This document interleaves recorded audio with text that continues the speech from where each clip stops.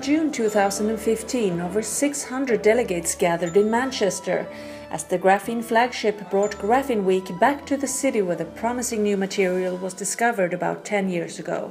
With 90 expert sessions covering over 15 topics on graphene and 2D materials, and over 350 poster presentations, the five day conference showed that the interest in graphene and other 2D materials is bigger than ever. This is one of the most uh, fast advancing fields uh, at the moment. We had a lot of interesting talk and uh, we get to meet a lot of people. Some of those uh, we, uh, we heard of, read it in the paper, and then we can sit down here and discuss with them. A fantastic idea, we can exchange. I think it's a good, yeah, very good. We are now able to produce with an industrial tool uh, graphene sheets up to a size of 300 millimeter wafer size. So we are really not far from the industrial expectation of, of this material.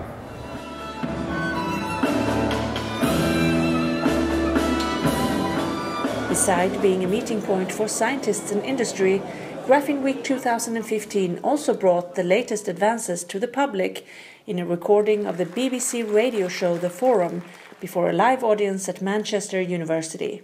And in fact, we bought kitchen blender for $39.99 in Argos. Um, and we put some graphite in, some water, and some dishwashing liquid. And within half an hour, I guess, we had made large quantities of graphene. And it really is that simple.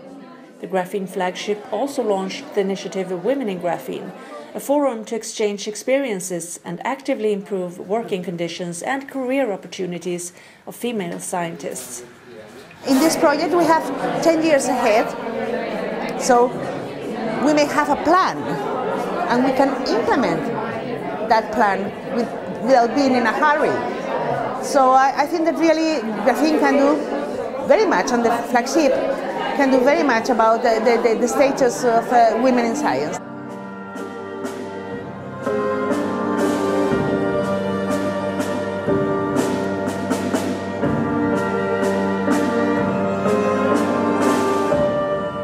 Accompanied by local composer Sarah Lowe's newly written musical piece that was inspired by graphene research and had its premiere during Graphene Week, Manchester opened its doors to some of its most impressive sites like the Gothic style Town Hall and Manchester United's Old Trafford football stadium.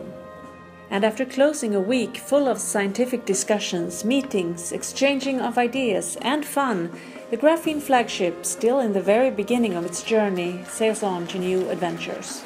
I would really like that in 10 years' time, people can start to realize that this effort that we have put, this money that we spent, this huge effort in terms of personal time that we put into this has been useful for something.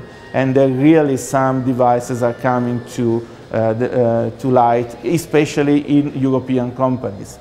My dream would be that at the end, or maybe before the end of this project, we already managed to, to produce a, system, a battery or supercap or a PV solar cell having uh, outstanding properties and uh, really to be able to industrialize this product, that's for sure.